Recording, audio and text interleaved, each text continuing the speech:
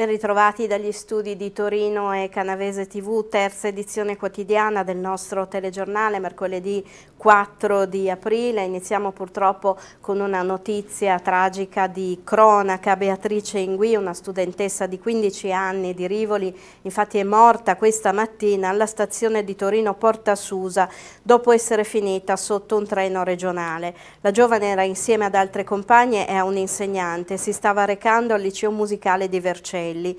Dalle prime indagini pare che il gruppetto fosse a ridosso dei binari e che lo zainetto della ragazza sia stato agganciato da una delle vetture del treno trascinandola tra le rotaie. L'incidente è accaduto al binario 4. Immediato l'intervento dei vigili del fuoco che hanno estratto la eh, ragazza da sotto il treno e del 118 che a lungo ha provato a rianimarla sulla uh, banchina, ma purtroppo non c'è stato nulla da fare. La ragazza è morta durante il trasporto in ospedale. E intanto è stata presa dalla conferenza dei capigruppo del Consiglio eh, Comunale di Torino all'unanimità proprio in segno eh, di lutto per la morte della studentessa di Rivoli la decisione di annullare la cerimonia di inaugurazione e intitolazione del ponte Unione Europea che collega Corso Matteotti e Via Cavalli e che era prevista per domani giovedì eh, 5 alle 12.15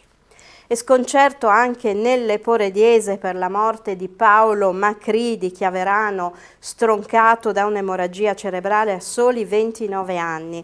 Paolo era uno chef molto noto, aveva lavorato al Panigaccio, attualmente lavorava da Ocio in Corso Nigra ad Ivrea. Il giovane è morto nel sonno la notte di Pasquetta. È stata la sua compagna a chiamare i soccorsi quando si è accorta che il respiro di Paolo si stava facendo sempre più affannoso. A nulla purtroppo sono valsi tentativi di rianimazione dei volontari dell'ambulanza e del soccorso che sono giunti subito sul posto. Soltanto un anno fa un'altra tragedia aveva colpito la sua famiglia, infatti il papà Giuseppe, dipendente dell'impresa Mattioda, era rimasto vittima di un infortunio sul lavoro in Alta Valle di Susa e avevano raggirato tra gli altri anche due vedove di Castellamonte di 73 e di 89 anni, spacciandosi per tecnici del gas ma saccheggiando poi le loro abitazioni. Utilizzavano un garage di Orbassano come camerino per indossare i costumi di scena con cui mettevano a segno truffe e furti. Due uomini di 28 e 30 anni sono stati arrestati dai carabinieri di Venaria.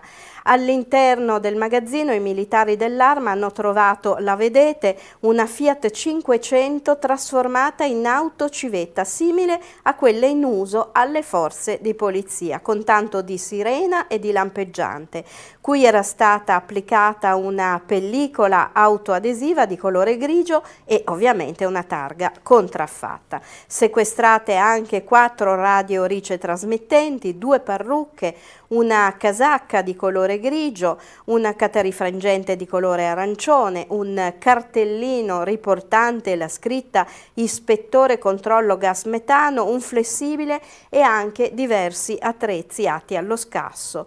Inoltre tre bombolette di spray urticante, un chilo e mezzo di monili d'oro del valore di circa 25.000 euro, quasi 2.000 euro in contanti e 407 dollari americani. Proprio il giorno dell'arresto la coppia aveva realizzato le truffe con furto in abitazione ai danni delle due vedove di Castellamonte e un giovane di 25 anni si è tolto la vita impiccandosi nel bagno del negozio che aveva aperto soltanto due mesi prima in via Pietro Cossa a Torino nei pressi di Corso Regina Margherita lasciando una lettera che spiega le ragioni del suo tragico gesto. Scusatemi, ho fatto delle scelte sbagliate. La fidanzata allarmata perché il ragazzo non le rispondeva al telefono ha chiesto aiuto, ha fatto intervenire i vigili del fuoco poco che hanno aperto la porta del negozio e hanno fatto la scoperta.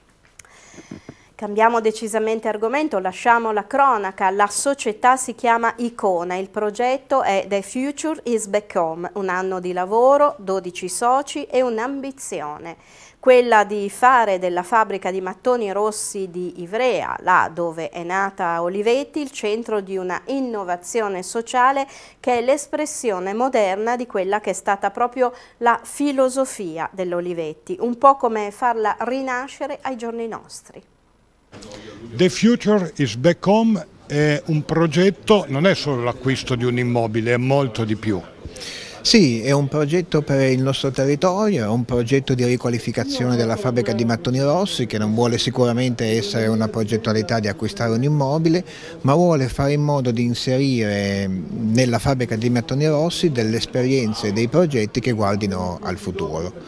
Riteniamo che Ivrea possa essere ancora attrattiva per, eh, per l'Italia e anche per il mondo nella, nello sviluppo di quella che viene definita ai giorni nostri la social innovation, cioè come si andrà a modificare nel breve tutto il tema del, del lavoro, dell'impresa, dell'imprenditoria eh, rispetto mh, al fatto che siamo di fronte a delle innovazioni tecnologiche che saranno dirompenti. Allora, la cifra che per noi è stata l'esperienza Olivetti, cioè innovazione, tecnologie e valori sociali, crediamo che siano dei temi fondamentali di cui si dovrà occupare la convivenza europea nei prossimi anni e riteniamo che su questi Ivrea possa essere riconosciuta come un luogo dove delle esperienze ci sono state e possa in qualche modo guardare al futuro e quindi essere un, un qualche cosa che attiri imprese, attività sul nostro territorio per cercare di costruire un progetto che sia un progetto di sistema che guardi convintamente avanti.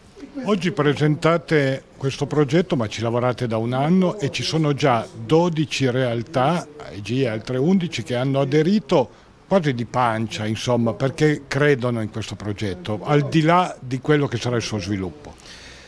Sì, oggi presentiamo mh, Icona perché noi eh, comunque abbiamo raggruppato ad oggi 12 realtà imprenditoriali di questo territorio che si sono messe insieme, altro valore che noi riteniamo fondamentale, mettersi insieme per guardare avanti, sotto AIG che fa da capofila, riprendendo un po' quali erano le file della, della sua storia, ma mh, per raccogliere le risorse finanziarie, di competenze, di relazioni che sono necessarie per fare in modo di sviluppare un'ipotesi progettuale. Noi abbiamo già fatto alcuni passi eh, che ci hanno portato ad acquistare la fabbrica di mattoni rossi, adesso si tratta di costruire bene tutti i contenuti che lì all'interno si svilupperanno, perché pensiamo che solo i contenuti possano essere la ragione per la quale qualcuno si potrà essere interessato diciamo, a, a venire ad Ivrea a, a sviluppare dei progetti. Facciamo un esercizio eh, che a volte si fa, eh, che non è solo un esercizio. Eh, Camillo e Adriano Olivetti, vedendo che la loro fabbrica di mattoni rossi rinasce nel segno dell'innovazione sociale, che era un po' il nervo della loro concezione d'impresa, che cosa direbbero oggi? Bah, io penso che mh, sia diciamo, una sensazione positiva. Io rappresento in questo momento la cooperativa EG, che dobbiamo eh, dire nasce nel 1901, ancora prima del 1908, primo socio Camillo Olivetti e quindi l'idea di guardare avanti e di capire quali potessero essere le attività che eh, che, che, che, possono diventare importanti per il futuro sia la cifra diciamo, della Olivetti. Quindi ritengo che la reinterpretazione di questa, di questa prospettiva eh, ci possa in qualche modo ancora guidare per il, nostro, per il nostro futuro. Riteniamo appunto che lo sviluppo di questi progetti non sia in un'ottica museale di conservazione perché riteniamo che non sia quella l'elemento importante ma sia proprio cercare di reinterpretare un un'esperienza che qui si è sviluppata perché possa, e riteniamo che lo sia già, possa in qualche modo ehm, guardare al futuro e alle innovazioni che noi ci troveremo ad affrontare sia in ambito imprenditoriale che in ambito sociale, che sono state eh, diciamo, il cuore dell'esperienza olivettiana. Nelle prossime edizioni del nostro telegiornale entreremo più nel dettaglio del progetto e vedremo anche quali possono essere le fonti di finanziamento, ma per chi volesse approfondire già l'argomento, l'intervista completa la trovate già sulla nostra pagina Facebook e sul nostro canale YouTube. Ma come oggi l'interno della fabbrica di mattoni rossi? Lo vediamo in questo bel video che è stato realizzato nel quadro dell'alternanza scuola-lavoro dagli studenti della terza B del Liceo Gramsci di Ivrea nell'anno scolastico 2016-2017 e che racconta con musica e immagini il primo insediamento industriale e porediese della Olivetti.